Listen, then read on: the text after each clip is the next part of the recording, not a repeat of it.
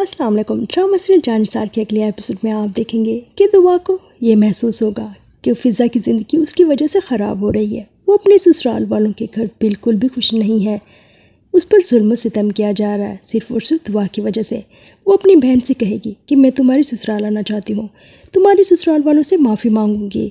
बार बार उनके आगे हाथ जोड़ूँगी उन, उनके पैरों में पड़ूँगी तो वो यकीनन मुझे माफ़ कर देंगे। मैं उन्हें समझाऊँगी कि मेरी वजह से मेरी बहन को सजा ना दें। तुम्हारा शौर भी तुम्हारे साथ अच्छा हो जाएगा और तुम्हारी सास तुम पर जुल्म नहीं करेगी। पिज़ा उसकी बातें सुनकर काफ़ी ज़्यादा इमोशनल हो जाएगी। वो अपनी बहन को समझाएगी कि बिल्कुल नहीं, मुझे अच्छा नहीं लगेगा कि मेरी बहन मेरी वजह से दूसरों के घरों में जाके हाथ जोड़ती रहे। तुम इतना घिरी पड़ी नहीं हो कि तुम मेरे लिए इतना बड़ा कदम उठाओ। और ना ही वो इस कदर खास है कि तुम उनसे माफिया मांगो या वो तुम्हारी बात समझेंगे। उनका काम दूसरों को परेशान करना है। मैं, मुझे बिल्कुल पसंद नहीं है कि मेरी बहन वहाँ आकर सलील हो। दुआ वैसे तो अपने घर वालों के सामने काफ़ी ज़्यादा खुश खुश रहती है, लेकिन उसके दिल के अंदर एक नया दुख पल रहा होता है, जब वो अपनी सासू सर की बातें सुन लेती है। वो नुशरवा से कहते हैं कि हमने दुआ को कबूल कर लिया, वो हमारी बहू है, लेकिन तुम्हारे ताल्लुकात फरा के साथ हमें बिल्कुल पसंद नहीं।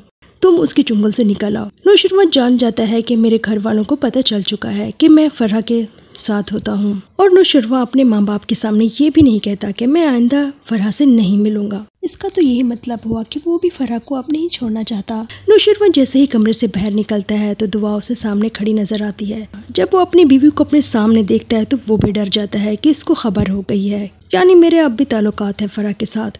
उसके दिल में कहीं ना कहीं फरा मौजूद है। इस वजह से तो वो दुआ को देखकर सहम जाता है। फिजा जब अपने घर जाएगी तो अपनी नन से कहेगी कि जब से तुम्हारा रिश्ता तय हुआ है, तुम क्यों इतना सहमी सहमी रहती हो? जब देखो तुम परेशान हो, आखिर क्या वजह है? ये तो बहुत ही अच्छा रिश्ता आया है तुम्हारे लिए। फिजा की नंद कहेगी कि मैं इस रिश्ते से खुश नहीं हूँ, क्योंकि मैं किसी और को पसंद करती हूँ। मैं ये शादी नहीं करना चाहती। फिजा बेचारी उसके लिए कुछ भी नहीं कर पाएगी।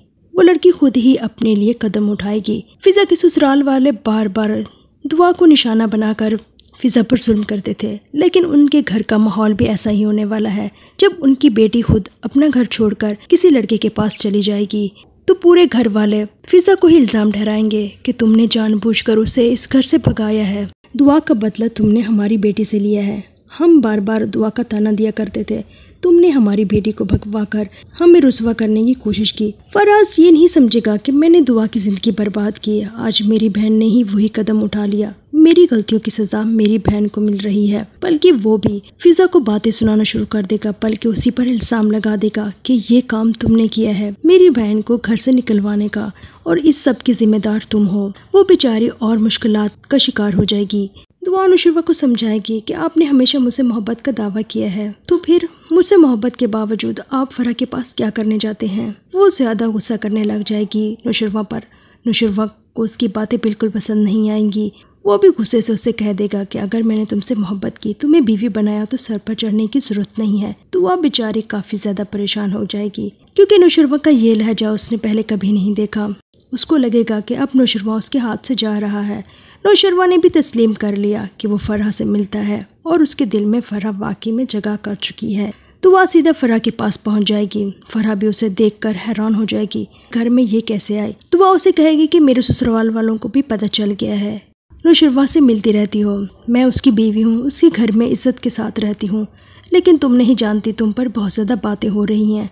लोग गलत गलत बातें कर रहे हैं कि तुम किस हक से हर वक्त नौशरवा के साथ रहती हो। और नौशरवा का यहाँ आना तुम्हारे लिए एक गाली है। फरा जिसे इन बातों की बिल्कुल भी परवाह नहीं। वो दुआ से कहेगी कि नौशरवा मेरा है। वो अपनी पहली मोहब्बत बिल्कुल नहीं भूला। वो आज भी मेरे पास आता है और मुझे लोगों की परवाह नहीं। वो दिन जल्द आएगा। जब वो मुझसे निकाह करेगा, तुम भी ये सब देखती रह जाओगी। दुआ मजीद परेशानियों का शिकार हो जाएगी। उसे लगेगा कि वो फरहा को नुशरवा की ज़िंदगी से नहीं निकाल पा रही। और नुशरवा भी मुसलसल फरहा की साजिशों का शिकार होता रहेगा। दुआ और नुशरवा के ताल्लुक में दरारें आना शुरू हो जाएँगी। इनके घर का सुकून फरहा की वजह से बर्बाद होना शुरू हो जाएगा।